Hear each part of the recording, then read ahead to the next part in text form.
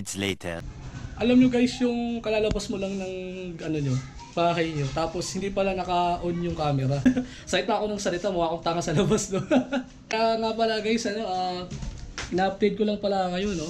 Dito sa Marikina City, dito sa IPC Holandes. Wala So as ano, ah, sa ngayon pala ah, na, na ano na nawala na yung kuryente. Nagko-computer ako kanina, i-share ko na yung ano ko, yung yung bagong motovlog ko na vlog sa Facebook ko and bigla namatay yung kuryente. Kaya bumili ako ng posporo, tatlong piso. Kasi kung makikita nyo, ayan oh. Makikita nyo, ayan. Nakakandila. Gumagamit kami ng kandila kasi run out eh. So, ewan ko kung ano mangyayari dito mamaya. Kung hanggang ano oras to.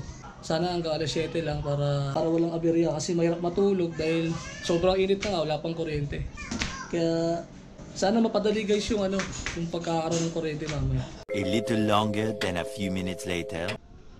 Kaya sobrang hirap guys ang walang kuryente kasi sobrang init na nga, wala pang tubig, wala pang kuryente. Ang hirap ng ganito. Kaya yun, makikita nyo, oh, walang ilaw, sobrang dilim. Wala kayong makikita ang ilaw kahit kahit saan dyan. Kahit yung poste dun, walang ilaw yung poste dun. Eh. Hirap talaga. Kaya sobrang hirap talaga guys ng walang ilaw talaga kasi ah, yung mga kuryente kasi kuryente at tubig, yan din yung dahilan ba't tayo kasi yun ang pinaka ano natin, pinakapugat natin. A little longer than a few minutes later.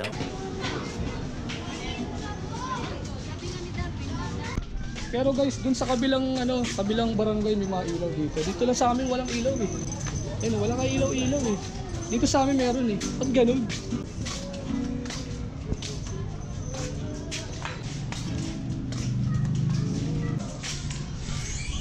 A few minutes later. So nausap ko na si Kuya Aganina guys. Sabi niya, papayag daw siya sa Ariel Quezon. Mag-ano kami. Mag mag-ride kami. Kasi next next week kasi guys, ano na, uh, mahalang araw na. Pero masama mag-ride pag mga ano eh, mga Friday or Saturday kasi patay na si Jesus nun eh. Bali si Jesus ma- mabubuhay sa linggo. So patay na si Jesus ng Sabado. Uh, sobrang sama mag, ano, mag-ride kapag Sabado.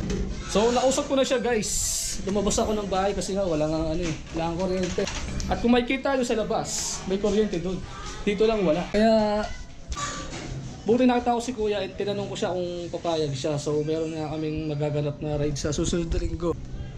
So, di ko alam kung hanggang saan tong vlog na to eh, kung hanggang mamaya o hanggang ngayon na lang. kasi wala akong maisip eh. Binalag ko lang do para kakaiba naman. Kasi palagi na lang motovlog ang aking binablog. Wala namang ibang content. Kaya wala akong ibang maisip. So, yung classmate ko nga pala na si JC Kuyogan guys, ah, mapapansin nyo, nag-post siya sa Facebook na um, tickets parang ano yon going to 1k subscribe. Kaya good luck sa kanya, sana may manalo para ah, ang gagawin nyo lang, tuloy-tuloy nyo lang siyang susuportahan. Kasi ganun talaga ang buhay. A few minutes later. Ma, sa tubig. ma, ano masabi mo na brownout na yun? Sabi mo brownout na yun? Hindi mainit. Sobrang init. Paano kaya mangyayari yun guys, no? Wala na nga tubig, wala pang ilaw, wala pang kuryente. Sobrang init na nga, wala pang kuryente. Ano buhay to, Diyos ko po? A few minutes later.